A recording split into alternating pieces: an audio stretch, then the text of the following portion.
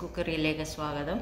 ഇന്ന് ഞാൻ ഉണ്ടാക്കാൻ പോകുന്ന ഒരു പലഹാരമാണ്. അതിന്റെ ഇൻഗ്രീഡിയൻസ് എന്തൊക്കെയാണെന്ന് നോക്കാം.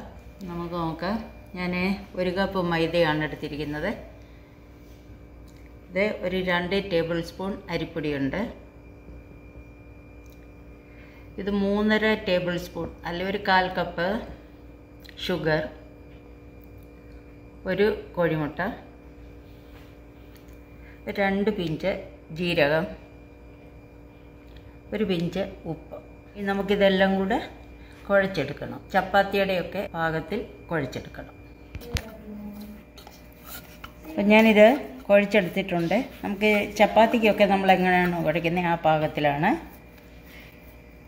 കുഴച്ചെടുത്തിട്ടുണ്ട്. ഇനി നമുക്കിത് പരത്തി കട്ട് ചെയ്തെടുക്കണം. അപ്പം ഞാൻ കുഴച്ച് വെച്ച് എടുത്തിട്ട് നമ്മൾ ചപ്പാത്തിക്ക് പരത്തുന്ന പോലെ തന്നെ കനം കുറച്ച് കുറച്ചെടുത്തു. നമുക്കത് പരത്തിയെടുക്കണം. മാവി മുക്കി.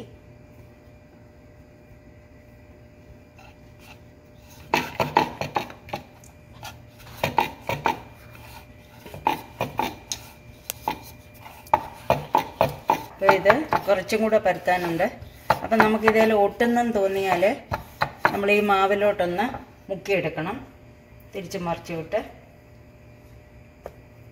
മുക്കിയെടുക്കുക. ഇല്ലെങ്കിൽ ഇതിലോട്ട് ലേശം ഇട്ട് കൊടുത്താലും മതി.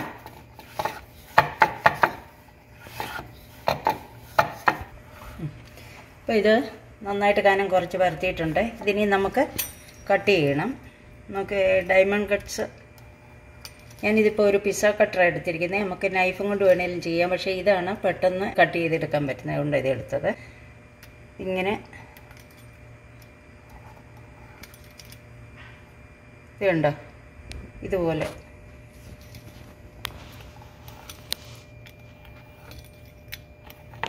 എന്നിട്ട് തിരിച്ച് അതുപോലെ തന്നെ വീണ്ടും. ഇതുണ്ടോ?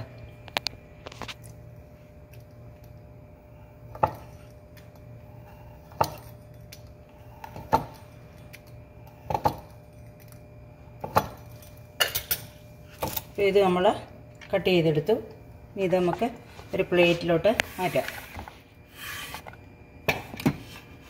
അങ്ങനെ ഇതെല്ലാം തന്നെ കുഴച്ച് കട്ട് ചെയ്തെടുക്കണം അപ്പം ഞാൻ അതെല്ലാം ഇങ്ങനെ പരത്തി കട്ട് ചെയ്തെടുത്തിട്ടുണ്ട്. ഇനി നമുക്കിത് ഫ്രൈ ചെയ്തെടുക്കണം. പാൻ വെച്ചിട്ടുണ്ട്. ഓയിൽ ഒഴിച്ച് കൊടുക്കണം. എണ്ണ ചൂടായിട്ടുണ്ട്. ഇനി തീ കുറച്ച് കുറച്ചിടണം. നമ്മളിത് ഓരോന്ന് അതിനകത്തോട്ട് പറക്കി ഇടുന്നത്. അപ്പോൾ അത് ആദ്യം ഇടുന്നത് ഇങ്ങനെ ബ്രൗൺ കളറിലായിപ്പോൾ അതിന് വേണ്ടി തീ കുറച്ചിടുക ഓരോന്നായിട്ട് വേഗം വേഗം പറക്കിയിടുക അതിനകത്തോട്ട്.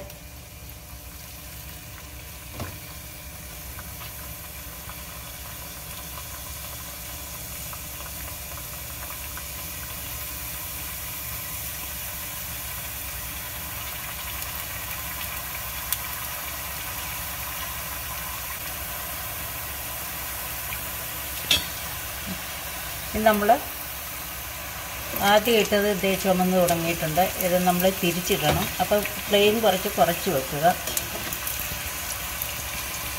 ഓരോന്നിങ്ങനെ തിരിച്ച് തിരിച്ചിടണം.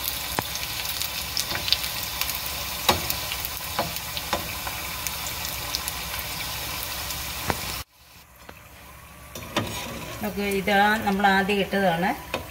ഇത് മൂത്ത് വന്നിട്ടുണ്ട്. ഈ കളറാകുക. അപ്പം നമ്മൾ അത് ഒരി മാറ്റുക.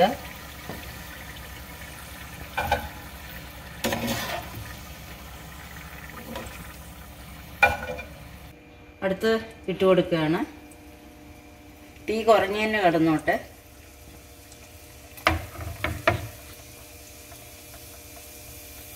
ഇത് ഒട്ടിപ്പിടിക്കുക അതുകൊണ്ടാണ് നമ്മൾ വൺ ബൈ വൺ ആയിട്ടിടുന്നത് ഒന്നിച്ച് വാരിയിട്ട് അത് പരസ്പരം ഒട്ടിപ്പിടിക്കും.